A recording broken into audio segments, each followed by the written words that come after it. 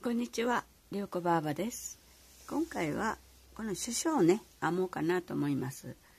えっ、とこの糸ですね。糸はですね雑貨ストアーズさんで買っていたあのハニーテイストという糸なんですよね。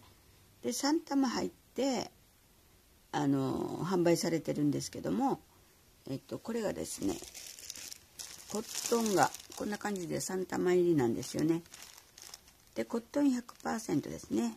綿が100%で 40g が3玉入ってますね。で1玉131メートル。かぎ針が2号から3号と書いてありますけどこれはあの5号針で編んでいます。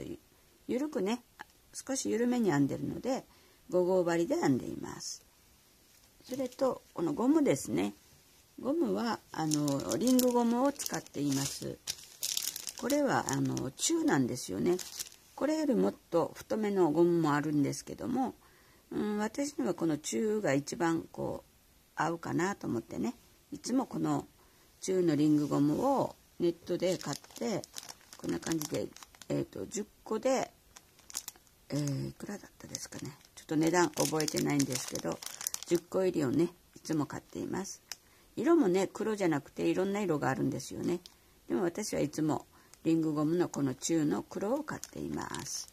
このいつもね買っている黒のゴムあのリングゴムで編もうかなと思います。今回はこの編んだものはねあのベージュなんですけどこの白でね編もうかなと思います。今から編みますねまずリングゴムに細編みをずっと編みつけていきます。こんな感じでくぐらせてリングゴムにね糸をくぐらせて細編みを編みつけていきますね。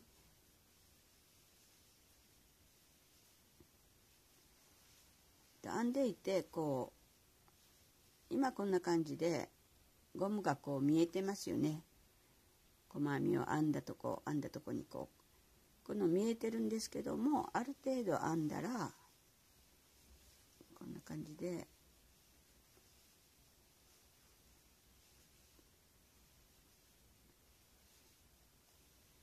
ある程度編みますよね。もうちょっと編むんですけどこう寄せて最初の方にこう寄せて隙間からゴムが見えないくらいですね。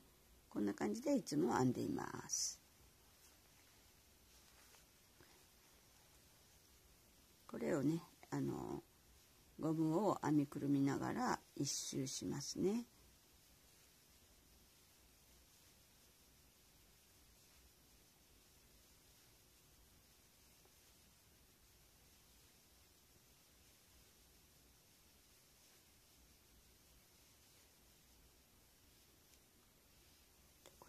で寄せていきます。これをねあのゴムが見えないくらいに寄せながらこう一周します。一周してきましたね。そしたら最初のね細編みしたところに針を入れて引き抜きます。でこれでゴムがね隠れましたよね。そしたら次はですねえっ、ー、と鎖編みを4回。1234目。そしたら、えーと、この編みつけたこの細編みですね。もう目数は別に数えなくて黒いねゴムが見えないくらいに寄せながらあの軽く寄せていいです。そのギュッとね寄せてしまわなくて見えなくなるぐらいまでね編んだらだいたい鎖編み4目してから、えーと、とこの鎖細編みですね。細編みを123目目。根元から根元の次から数えて123目目にこんなして閉じます。でまた1234でこう見て123目目。だけどこう面倒くさいじゃないですか。もう間違う時ありますよね。こんな感じで4目したらまあ3目飛ばしてつけたりとかもあるので別にねそこはもう全く気にしなくて大体でいいです。だいたい2目2目飛ばして3目目のところなんですけど、まあ、4目目とかもありますよね間違って。それはもう一向に構いません。こんな感じで3目目に2目飛ばして3目目にずっと4鎖編みを4目したのを編みつけていきますあの閉じていきますね。でこれを1周して1周したら、えーと、目数を数えてないから例えばあの閉じたところで次この初めのところから1目ぐらいしかな余ってないっていう時もありますのでそれはそれでもう1目開いて根元にね鎖編みの初めの根元に閉じられていいです。まあ都合よくね2目飛ばして閉じる時もありますけど全くもうここはもうねあのバラバラなんで3目閉じた後に3目残ったり1目残ったりするのでその辺はもうあの考えなくてもう4目鎖編みをしてああちょっと幅広くなったけどと思ってももうそのまま最初のね鎖編みの根元に閉じられ閉じられていいと思います。これをね一周してきます。できました。そしたら、えーと、ここの最初の鎖編みと今鎖編みをしたところのこの間ですね1目しか残ってないのでここも1234目編んで根元ですね根元に閉じますこんな感じですねそしたら、えーと、次はですね、えー、鎖編みをえっ、ー、と6目12345目編んで長々編みをこの輪の中ですね。この中に鎖編みをした中に入れて1回1回した後に鎖編みを2目。でまた長々編みを123しますよね。そしてもう一回鎖編みを2目。長々編みを123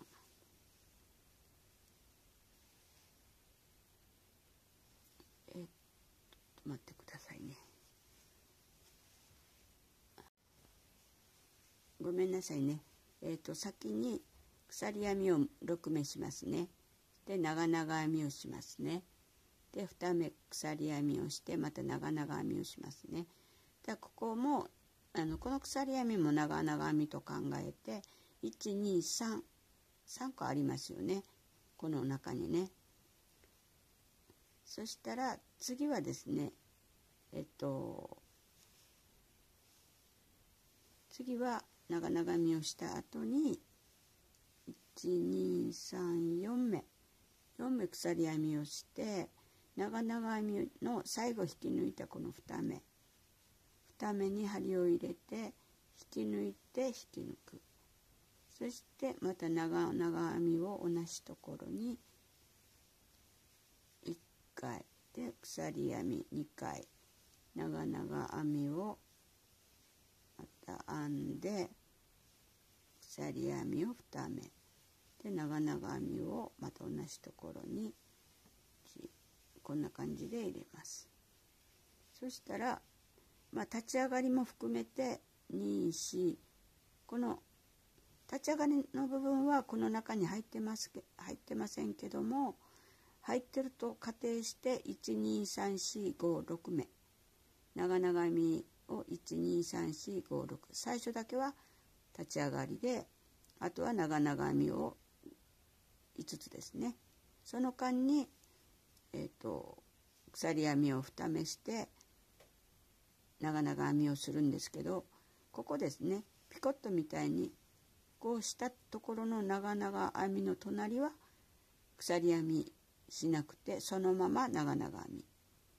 で両端の2箇所ですね。2箇所は長々、えー、鎖編みを2目します。で次に移る時次の目に移る時も2目鎖編みをします。で長々編みを次の鎖編みの中に1回鎖編みを2目。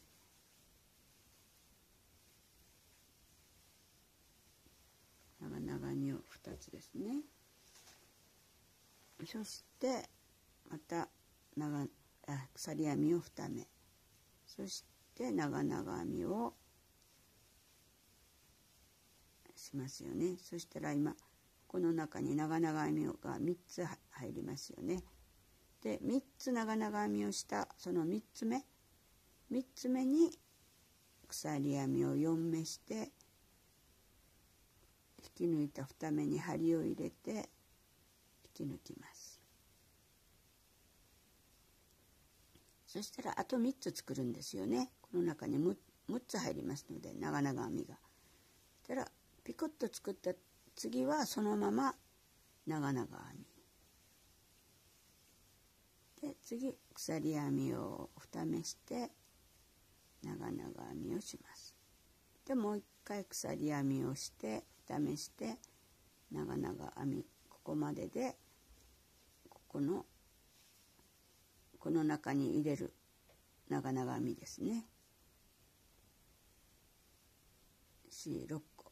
長々編みが126個6つですね。こんな感じで。そして両脇2箇所は鎖編みを2目。こんな感じで一周して編んでいきます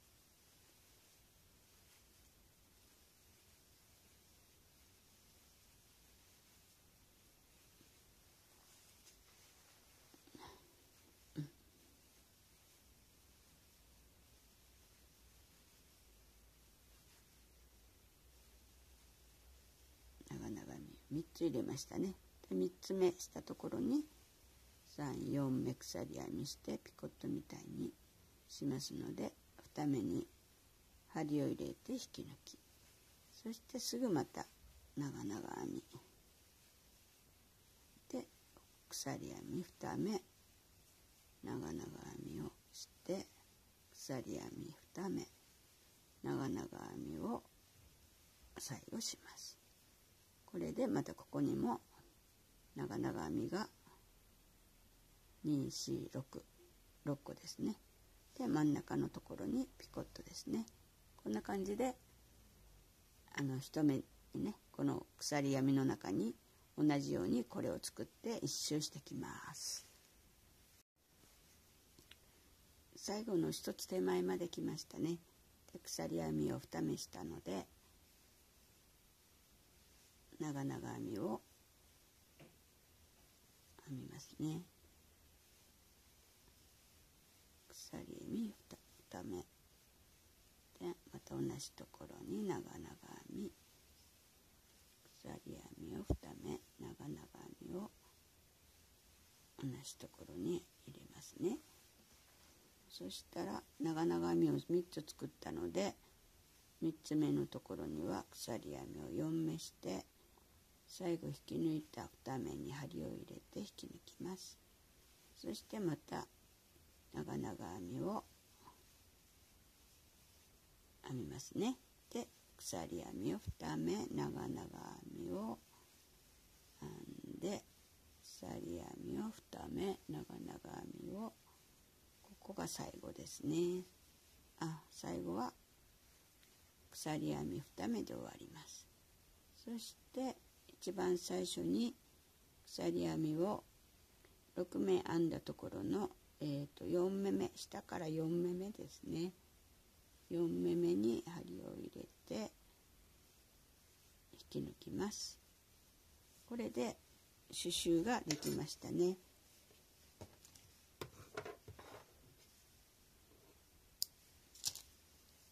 こんな感じで刺繍ができました。フリフリですよね。こんな感じでできたので今から糸始末をします。糸始末は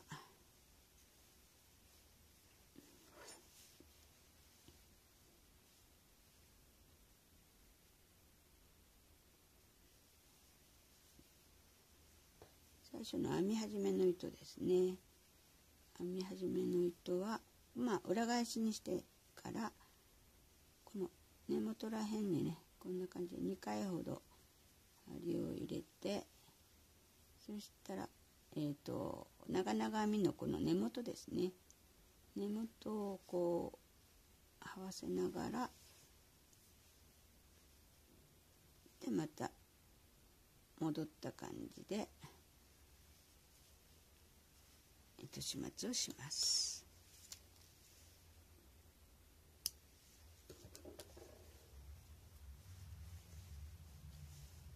今編み終わった糸ですね。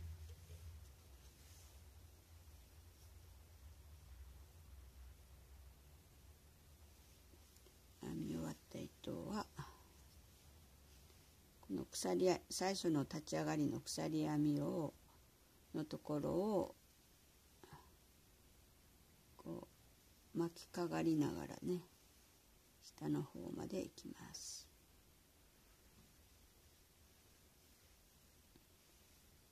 で下の方に行ったら向きを変えてこの下の根元ら辺でね2回ほど巻きかがって隣のまたね長々編みの根元の方をこうくぐらせてこんな感じでくぐらせて戻って終わりです。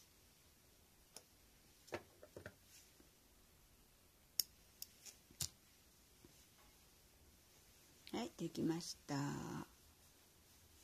こんな感じでシュシュがねできました。ボリュームがありますよね。で今からね春とか夏にはこう、まあ、コットン糸で糸ですのでこういうね白い糸で編んでもいいんじゃないかなと思います。今からあのこれだけではね私はシンプルすぎるのでちょっと可愛く仕上げようかなと思います。出来上がったシュシュにこんな感じであのパンジーのねお花モチーフと葉っぱをね編んでたのでこんな感じでつけてみました。もう春先取りですよね。まあねシンプルに白だけでもいいんですけど私はねすぐになんかこうつけたくなるんですよね。それで今回はパンジーのねお花を編んでつけてみました。こんな感じで今回はねコットン糸の、えー、ハニーテイストという糸であのシュシュをね編んでみました。ではね今日はこれで終わりたいと思います。ご視聴ありがとうございました。次回もまたよろしくお願いいたします。